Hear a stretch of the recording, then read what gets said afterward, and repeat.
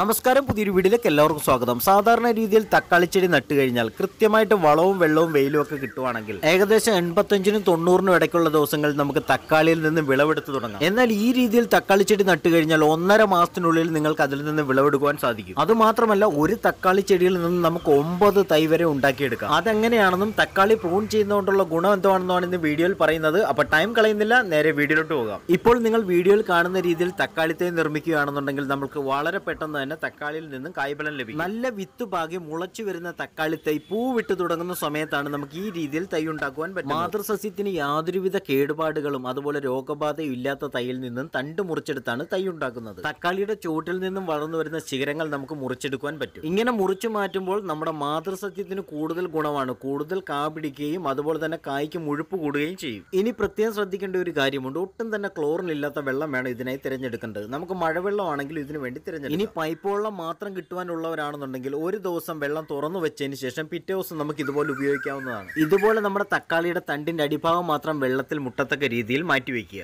മൂന്ന് ദിവസം കൊണ്ട് നമ്മൾ മാറ്റിവെച്ച് തണ്ടിന് വേര് പിടിക്കുന്നതായി കാണാം. പ്രത്യേകം ശ്രദ്ധിക്കേണ്ട ഒരു കാര്യമുണ്ട്. നമ്മുടെ പാത്രം വേര് വരുവാനായി മാറ്റി വെക്കേണ്ടത് നല്ല തണലുള്ള സ്ഥലത്തായിരിക്കണം. ഇപ്പോൾ നിങ്ങൾക്ക് വീഡിയോയിൽ വളരെ വ്യക്തമായിട്ട് കാണുവാൻ സാധിക്കും നന്നായി വേര് വന്നിട്ടുണ്ട്.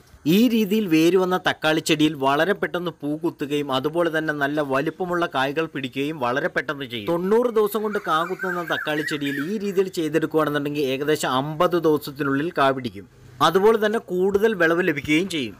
ഗ്രോ ബാഗിലോ അതുപോലെ തന്നെ മണ്ണിലോ നമുക്ക് നടാം. ഇങ്ങനെ നടുമ്പോഴത്തേക്കിന് വളരെ പെട്ടെന്ന് കാപിടിക്കാനും ചെടിക്ക് നല്ല രീതിയിലുള്ള വളർച്ച ലഭിക്കുവാനും ഗ്രോ ബാഗിൽ അടിവളമായി കൊടുക്കുന്നത് കോഴിക്കാഷ്ടം തന്നെ കൊടുക്കുക. ചൂട് കളഞ്ഞ കോഴിക്കാഷ്ടം വാങ്ങി മൂന്ന് ദിവസം നനച്ചിട്ടതിന് ശേഷമുള്ള കോഴിക്കാഷ്ടം ഉപയോഗിക്കും ചെറിയ വീഡിയോ വലിയ കാര്യങ്ങൾ. ഈ ചാനൽ വീഡിയോ നിങ്ങൾക്ക് ഉപകാരമായെങ്കിൽ മറ്റുള്ളവരിലേക്ക് എത്തിക്കാൻ ഷെയർ ചെയ്യുമെന്ന് പ്രതീക്ഷിക്കുന്നു. താങ്ക്